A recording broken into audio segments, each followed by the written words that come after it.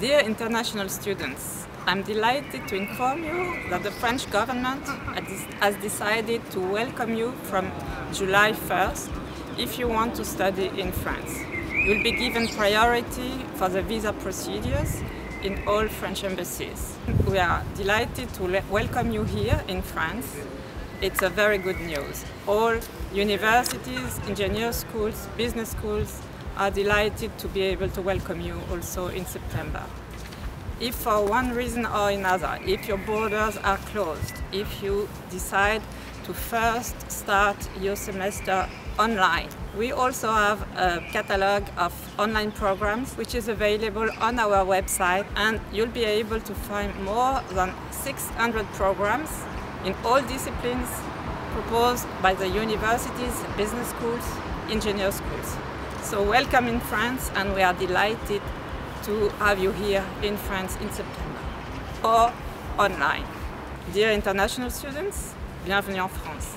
Dear international students, I am Jacques Fayolle, President of the Dean's Conference of French Engineering Schools, CDEFI. To face the consequences of the world health crisis, French engineering schools have been getting organized for many weeks to prepare the new academic years and to adapt to the health conditions that could be applied in September. The international openness is at the heart of the strategy of French engineering schools and one of its cornerstones is to recruit international students. So our schools have been working hard to welcome you in their campuses. If you couldn't come to France in the first week of the new academic year, we will be ready to begin the year with online high-level trainings.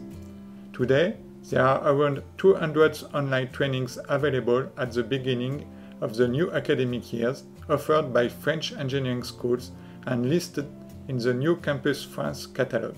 You will find a wide range of fields and trainings for which the courses are given in French or in English. These rich and varied trainings represent more than 30% of the trainings listed in this catalog. They show the dynamism and the determination of French engineering schools to stay attractive on the world stage and to continue to welcome international students. If you want to come to study in France for the next academic years and you haven't found yet your program, have a look at the French engineering schools trainings listed in the catalog and apply to join one of our trainings in September. Welcome to France and welcome to our engineering schools.